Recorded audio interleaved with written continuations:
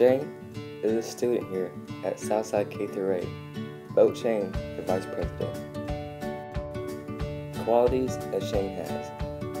Shane is trustworthy. He is responsible and respectful. He is very honest and he is an A honor roll student. Roles that Shane can fulfill.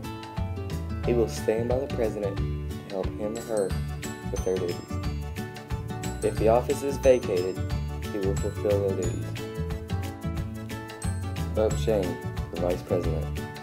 I know you will not be disappointed. My name is Shane, and I approve this message, for I will always stand up for what is right here at Southside K through 8. My goal is to help make this school year a better year for every student. Vote for me, because a vote for me is a vote for you. Thank you.